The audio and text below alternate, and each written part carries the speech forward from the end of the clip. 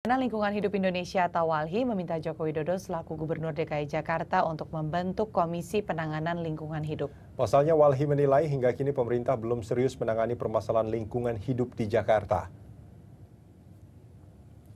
Walhi juga melihat salah satu permasalahan lingkungan hidup yang hingga kini meninggalkan tanda tanya yakni menyangkut konflik agraria dan maritim yang semakin parah. Di Tengarai, konflik agraria menjadi konflik terbesar kedua setelah konflik agama dan politik. Karena itu Walhi meminta adanya institusi di luar kementerian yang diharapkan mampu memperkuat Kementerian Lingkungan Hidup khususnya dalam pencegahan kerusakan lingkungan.